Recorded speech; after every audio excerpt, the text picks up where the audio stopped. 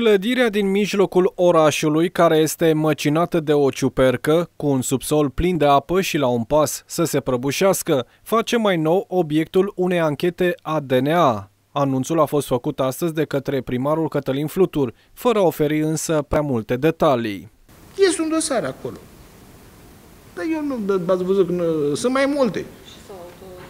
Nu știu, domnule, dar eu de unde să știu? Mi s-au cerut efectiv documentații de, știu, de atribuire, de expertiză, de plată. Dincolo de această veste, primarul susține că din primărie au dispărut și anumite documente referitoare la teatru și în plus spune că s-a ajuns în această situație din cauza lipsei de decizie a fostei administrații. În momentul în care s-au descoperit lucrări neprevăzute la structura de rezistență, fostul primar Ovidiu Portariuc nu a căutat soluții pentru a completa valoarea proiectului, iar atunci șantierul a paralizat. Concret, primăria a avut 5 milioane de euro bani europeni pentru reabilitarea teatrului, iar partea de consolidare ar mai fi presupus un milion de euro.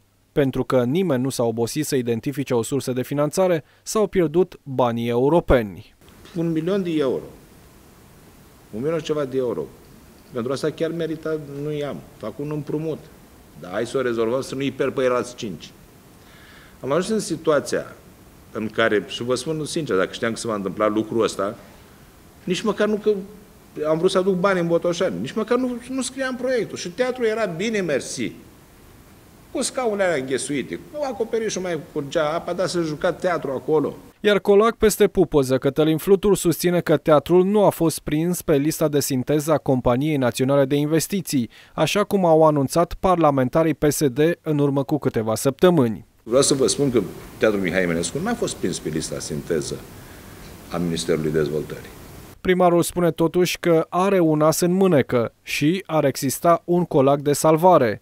Varianta a fost identificată și de către primăria Sibiu pentru anumite investiții demarate pe bani europeni și nefinalizate. Există o variantă importantă și o să vă spun că primăria Botoșan și primăria Sibiu a deschis aceste discuții cu specialiști adevărați de Ministerul Dezvoltării și de la AMEPOR.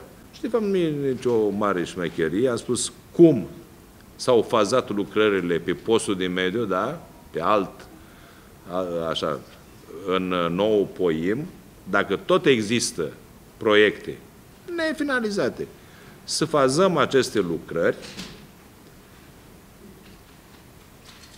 din exercițiul financiar trecut pe acest exercițiu financiar. Și ni s-a îmbrățișat ideea. Drept urmare, lucrările ar putea fi fazate pe o nouă axă de finanțare, dar nu există nicio certitudine.